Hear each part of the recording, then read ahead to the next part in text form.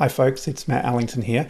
As often is the case, I get a lot of inspiration for the things that I share on my YouTube channel and on my blog from dealing with my clients in the real world. And I wanted to share something with you today. The topic's going to be compare two of anything in your Power BI reports. And so to demonstrate the technique today, I'm going to compare two years in the AdventureWorks database. I'm just going to pick any two years and do a direct comparison between those two years. But this technique can be used to compare products. It can be used to compare snapshots. Maybe you've got financial data and you're loading different versions of your forecast for the entire year. You can pick any two snapshots and compare the data. So it's a generic technique and you'll get a sense of what I'm talking about as we get into the detail. So let me start off by jumping over to the data model. This is the standard AdventureWorks data model that I use.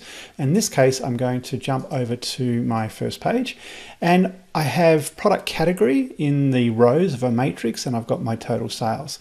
Now, given that this example is going to be about years, what would happen if I came up to the calendar and I brought calendar year into my matrix?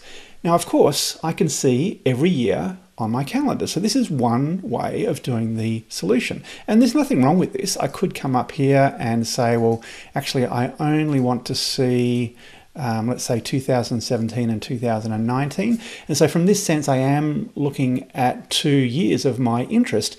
But notice that there's no comparison calculations here. It doesn't show me the change between 2017 and 2019. It doesn't show me the percentage change. And so, there's a lot of other things that you might want to see with the data. And this is not really the best way to do it. So, there, as I said on the earlier slide, there are different ways of doing it. The way I'm going to do this is I'm going to duplicate the calendar table. So I'm going to jump over to this view here and I'll create a new table. You could do this inside Power Query, but in this case, I think it's pretty simple just to use DAX. And so this is going to be my comparison calendar. And I'm just going to simply say, give me the calendar. And so what this will do, I'll write a DAX table function that returns an exact copy of the calendar table. And if I jump over to my model view now, here is my new calendar. And at this point in time, it's not joined to anything, and, and that's deliberate. But what I will do is I'll join the sales order date to the comparison calendar date so that I've now got two relationships, one to each of those particular calendars. Now this causes a problem and let me show you the problem. So what I would probably do now is I would remove calendar year from my visual and I might create a slicer and I'll bring calendar year into my slicer. I don't particularly like this type of slicer, so I'll change it. And so let's say I put a filter on this slicer for 2018. Now my visual is showing sales for 2018. And I want to do the same thing for my comparison calendar. So I'll duplicate that, just Control C, Control V. Notice that this is currently an identical copy. They're both filtering the main calendar. So I'll just remove the the main calendar and bring in the comparison calendar year. And when I click on, say, a comparison year, so let's what I did before, 2017 compared with 2019, notice that it returns nothing. And of course, this is going to happen because this slicer is filtering all the data in the sales table and only leaving the year 2017. And this slicer off a different table is doing the same thing, but on 2019. And the result of those two filters is that there'll be no data left. So clearly this is not the end state. So what I'm going to do, there are a few different ways of doing this, but what I'm going to do is I'm going to come here and I'm going to make this an inactive relationship. So I'm going to keep the relationship between the comparison calendar and my sales, but I'm going to make it inactive. And of course, when I do that, this slicer has no impact at all on my visual because it's now got an inactive relationship. But now that I've got this framework in place, what I can do is I can write a new formula and this one's going to be sales. So I'll do a new measure and I'll call this comparison sales. And the formula needs to manipulate filtering behavior. And in this case, the filtering behavior is to change the way the relationships are working in the visual.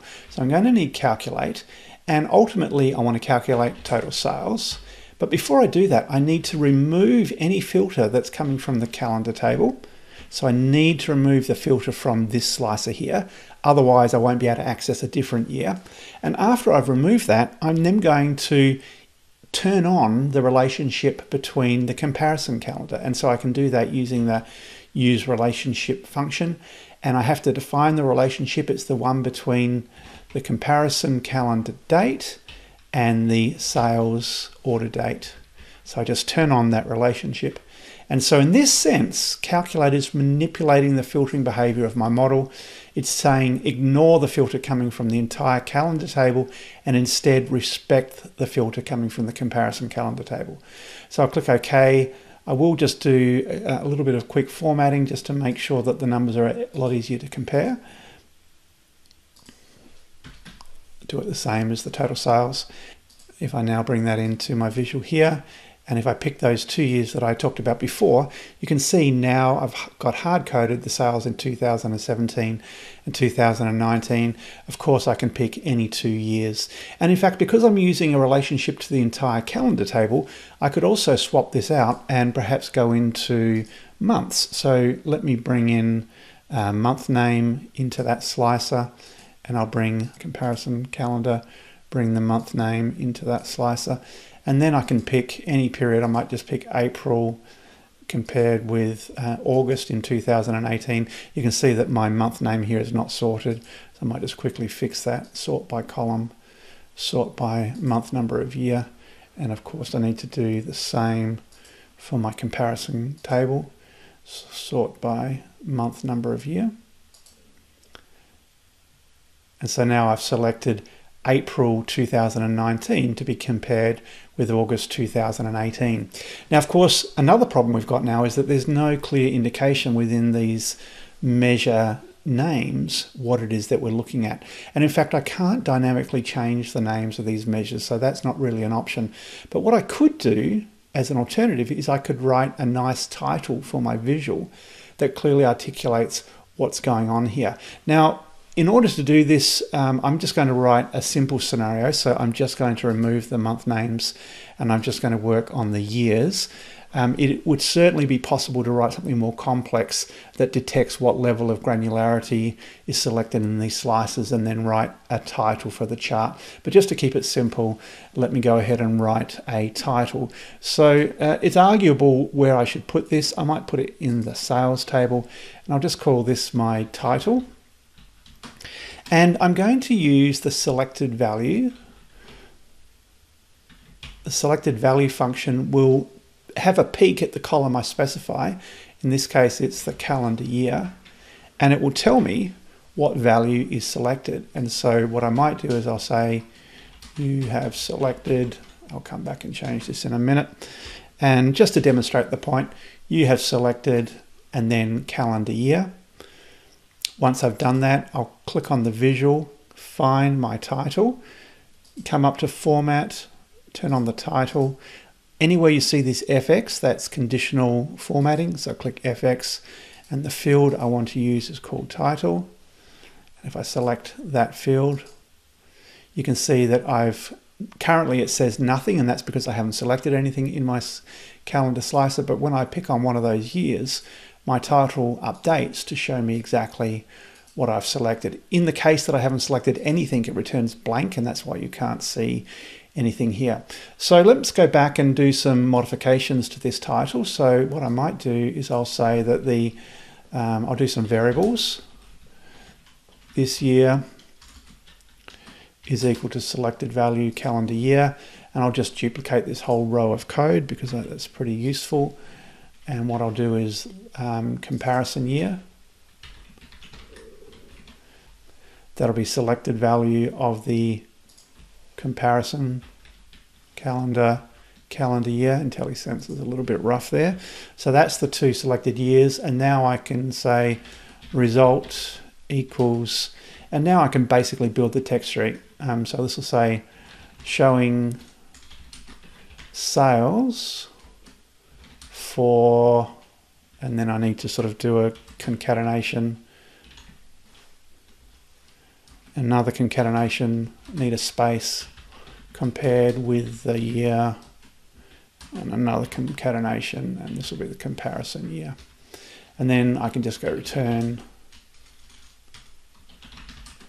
result. So let's have a look at that. Currently I have nothing selected, so I could certainly improve this overall title saying please select some values from the slicer. So I could just sense whether there is a single value here. In fact, um, yeah, I'd have to change that formula, but I'll just go and select 2018 and 2019. And now I've got a really nice um, descriptive header saying that I'm showing sales for 2018, comparing it with the year 2019.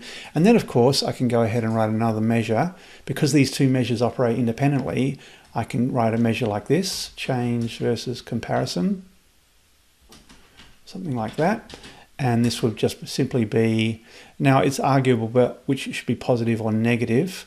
Um, so comparison year is greater. I think I'd probably want it to be negative so I'll say total sales subtract comparison sales. I will just do the formatting for completeness. It'll only take a second to do that so I'll come up to currency general change that to zero I'll add that one in. And because this new measure is also dependent on the comparison sales and the total sales measure, of course it's going to update. If I pick the same year, there's no change. If I pick different years, you can see those change. And then of course I can go ahead and do a percentage change and so on and so forth. So that's it. Hopefully you like my tip. We've got a stack of training available at skillwave.training. So why not head over and have a look at the courses that we have available if you'd like to learn more and learn faster about Power BI.